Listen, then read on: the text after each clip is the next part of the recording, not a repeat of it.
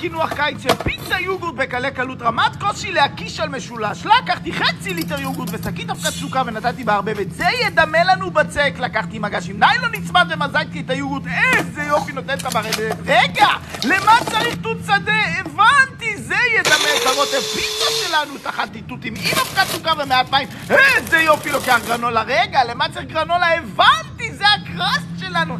איזה ממזר.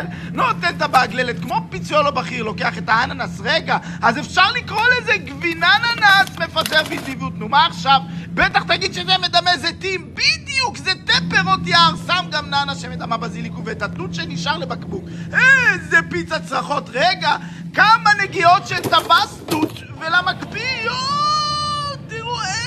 דבר אחרי ההקפאה נותן את הבסלייססת. יא בלולו, שם בלולו.